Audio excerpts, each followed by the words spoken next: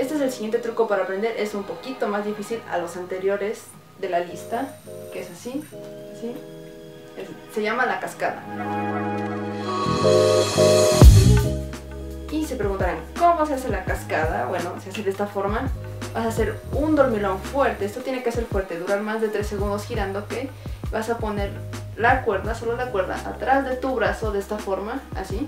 Y con la mano vas a darle un jalón para que el yo-yo regrese tiene que ser un jalón fuerte, si no te vas a terminar pegando en esta parte de acá y no queremos eso. ¿Sí? Así y así. ¿Ok? Vas a hacer un dormilón fuerte y vas a hacer el muñequeo de esta zona seguro para que no te vayas a pegar de esta parte. Así, y cuando yo, yo esté abajo, solo le das el jalón con tu mano y sube.